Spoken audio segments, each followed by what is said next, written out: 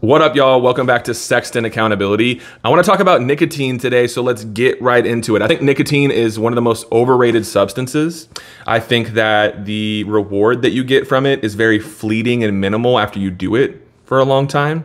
And I think it's just overall fucking whack. Okay. So, but look, I'm not to sit here and bullshit and act like I didn't vape for a long time and I didn't smoke cigarettes because I did both. Sometimes at the same time, I would have a vape and I would smoke cigarettes. Okay. That's straight up fucking gnarly.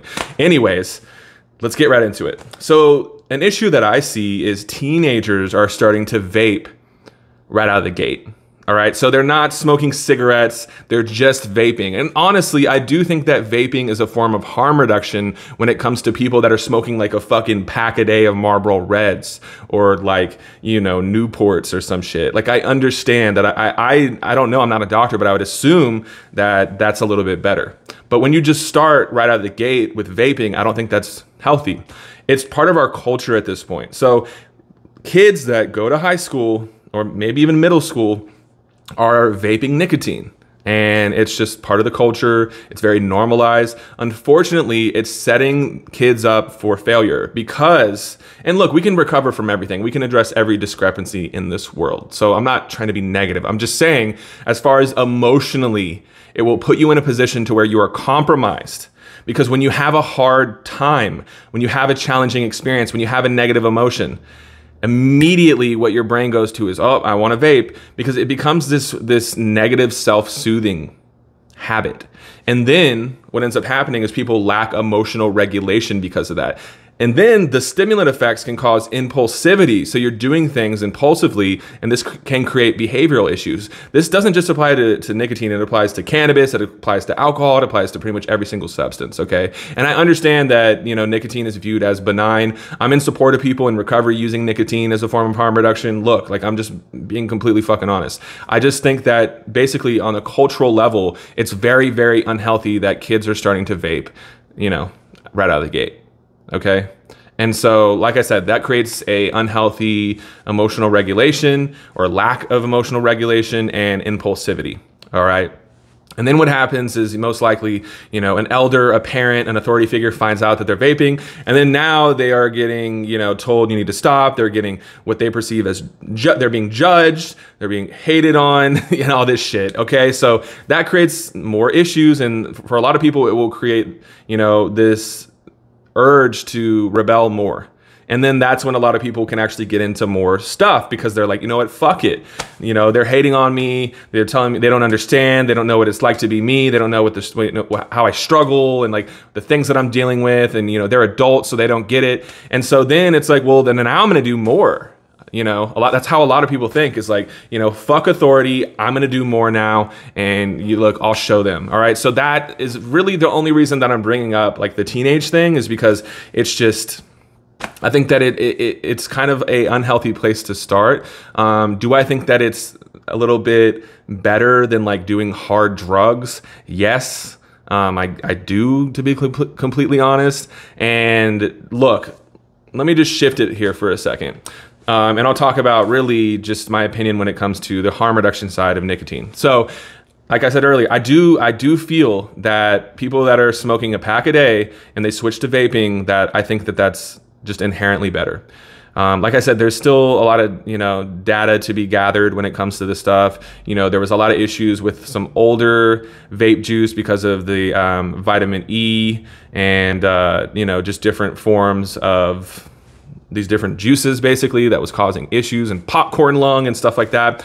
So I understand that. It's just in my personal opinion, which is I'm not an expert by any means, but I just think that obviously it seems like you're not combusting anything. So that seems inherently safer. But then you get into the issue of having liquid in your lungs, and that's um, even worse because that can lead to things like pneumonia um, and put people in positions to where they're on a fucking ventilator and shit. So I, I can't really speak on it that much other than my honest per- perception or perspective. Um, so that's that's my take on that. And I want to briefly talk about people in recovery that are using nicotine. Okay, so I'm someone I used nicotine the first four years of my recovery. Now the last four years I haven't, and I've noticed a lot of benefits overall just my anxiety levels are at an all-time low because I'm not consuming a stimulant. You know what I'm saying? And so, look, I have no moral issue with people consuming nicotine.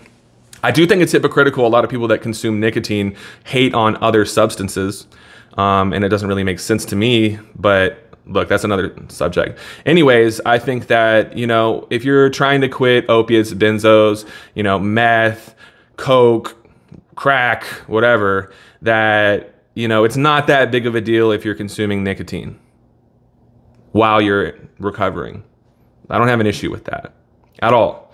Um, do I think that it, in the long run, it doesn't actually help at all? Yes.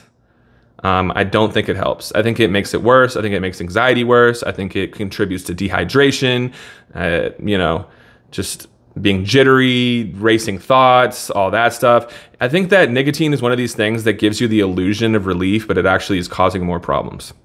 Point blank. But with that being said, as I mentioned earlier, I do support people that use nicotine in recovery. All right, I'm not going to hate on that. So let's talk about quitting nicotine. All right, for the people out there that are smoking cigs or that are vaping and they want to quit, or maybe they're being told they have to quit by their parents or something like that. Let's let's talk about it. All right, let's talk about it. So when it comes to quitting substances, I, I basically never encourage people to do it cold turkey, except for when it comes to nicotine and cannabis. And I, I would say inhalants as well, but really just nicotine and cannabis are the first things that come to mind.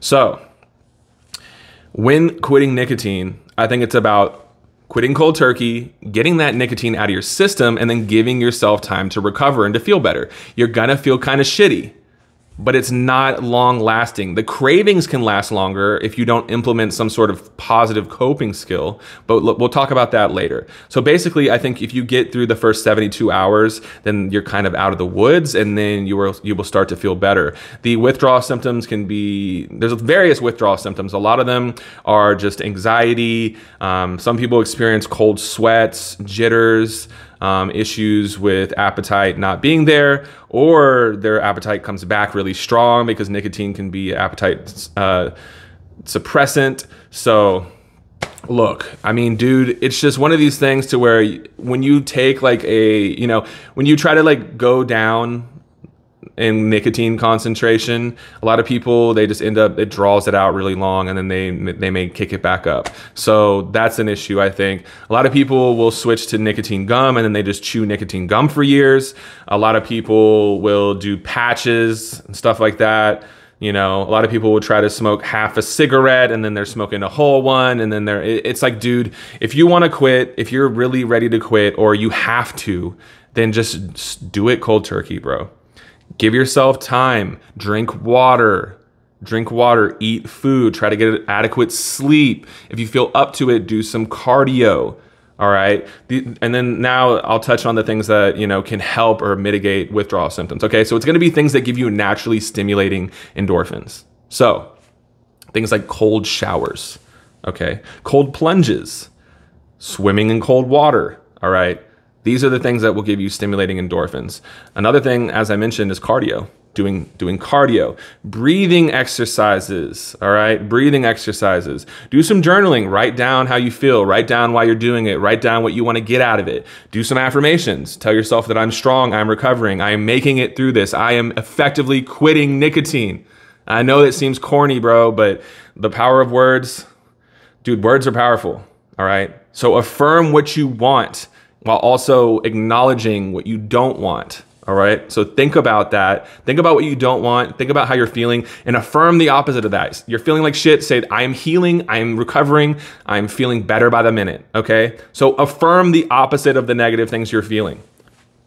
That's really it, dude. That's all I got to say, y'all. Nicotine, pretty whack, dude. Like if you keep vaping nicotine or smoking ciggies or whatever long enough, you know, usually you're like, oh, I get my morning buzz. You can get to a point to where you don't even get the morning buzz. So why the fuck are you doing it? There's no point, bro. There's no, the risk and reward ratio is just out of fucking whack. All right. So that's my honest opinion. Much love. If you're interested in what I do, I'm an accountability consultant or coach, if you will, and I offer my services on a monthly basis. So if you're interested, check out my website, sextonaccountability.com. You can sign up for a free consultation and I would love to talk to you. All right. Much love, y'all. Be easy. Fuck nicotine.